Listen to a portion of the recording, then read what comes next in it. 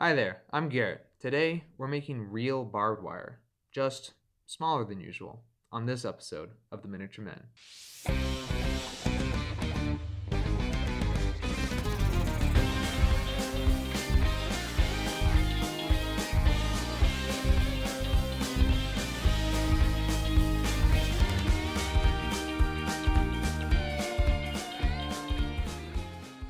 All right, so before we get started, we need to get everything we need. So let's see what's coming outside of the box today on this episode. Pliers, some wire cutters, not your hobby clippers or you're gonna ruin them. Your Tamiya extra thin cement. You could also use Loctite brush on glue. It's a little bit thicker, but it holds a little bit better. Go ahead and get your paper clip. Any plain Jane paper clip will do some 0.2 millimeter wire. It's very important that you get 0.2 millimeter for it to look right. A power drill. You could do cordless or corded. It's all the same. Lastly, you're gonna need a vise. This helps you do it by yourself, but if you have a friend, they can just hold some pliers for you instead. Okay, so the first thing we're gonna do is we're gonna take our wire cutter and we're gonna clip our paper clip apart. Any U-shaped piece is gonna be fine take our paper clip that we bent at the points there, and we're to insert that into the drill while we're holding this. It's kind of a complex move here, but you should be able to bojangle that in just fine.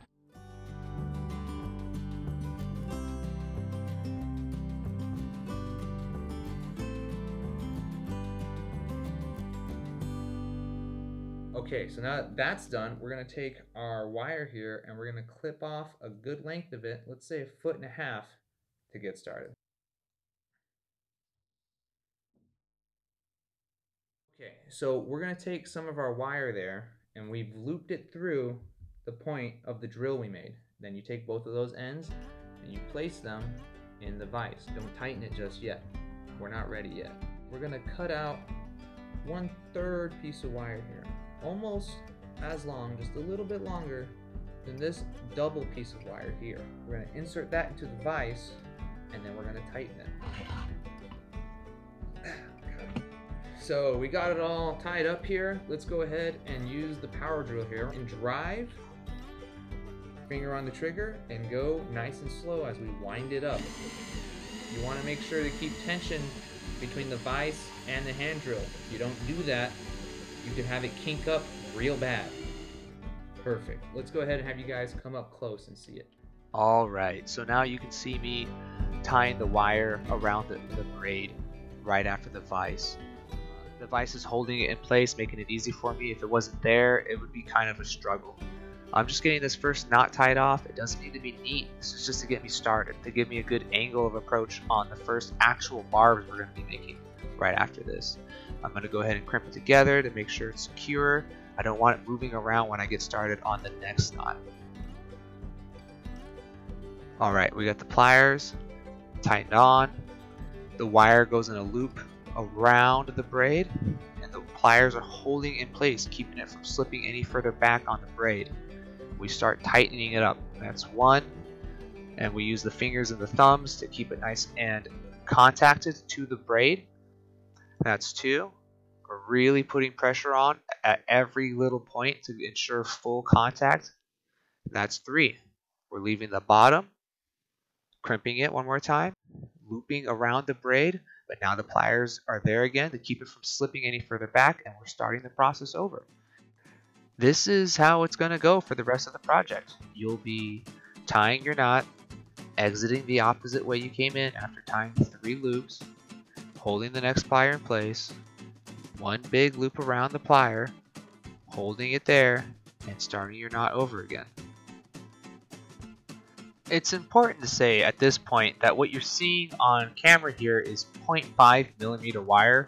I use that because it made it easier for the camera to show you what I'm doing here. If you want to make this for your bases, I still really recommend you use 0.2 millimeter wire. That's what I actually use. It just doesn't show up good on camera. So make sure that that's what you buy when it's time to put things together.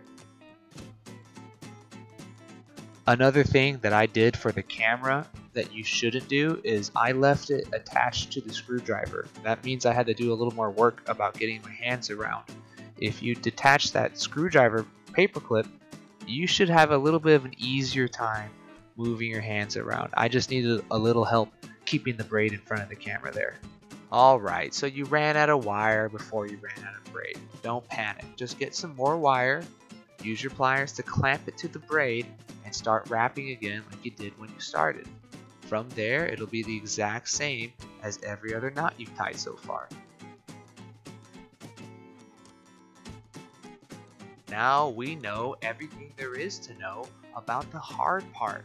We're staying tight on the knots, we're alternating the loops, and we're going to finish up nice and easy here. Let's go ahead and let's reach for our Tamiya extra thin cement and I'll show you an extra step that I like to take to keep things locked in nice and tight. The extra thin cement isn't necessary if you've tied down everything perfectly, but I sometimes struggle with that, and this helps make sure that the knots don't slip around at the end of the project. The cement is so thin that if it's on top of something, it'll probably not be noticed. Just make sure that it's not pulling up in these big puddles on top of the knots or on the braids. Sometimes the extra thin cement doesn't bond the way you want. You might need to use some Loctite super glue or any brand of brush on super glue. This will be more viscous so it'll bond the knots to the braid a little bit easier, but it shows up more when you paint it. You can cover that up by making it look like rust or corrosion or caked on mud, but if you want to avoid that, making sure that you use the minimum amount is the best thing to do. If you can, try to aim for the sides of the knot as closely as possible. My brush is pretty blown out here. I'm trying really hard to get it on right, if you have an opportunity to use a better brush than the one I have, get rid of the old brush. Don't struggle like I am here. Alright, go ahead and grab those wire cutters and start getting to work. You're going to start cutting off the excess material from each loop.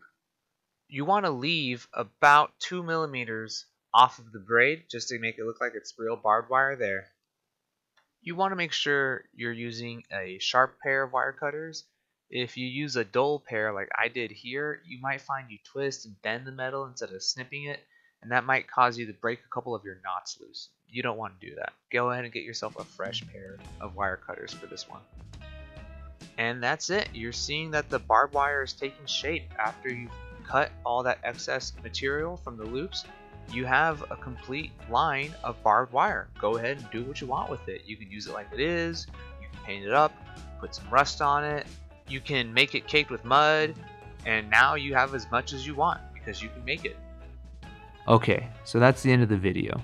As you guys can see here, this is what 0.2 millimeter wire looks like on your minis. On the video, I was showing you guys 0.5 millimeter wire. I don't suggest you use this for your infantry models because it looks a little bit big. Maybe if you like that style, you can use it, but I really recommend you use 0.2 millimeter wire. If you guys have any other comments about what kind of wire we use today, please put it in the comments below. Otherwise, please like, share, and subscribe, and we'll see you in the next one. If you need any ideas about what to use with your barbed wire, check out this video here about using rubble bases.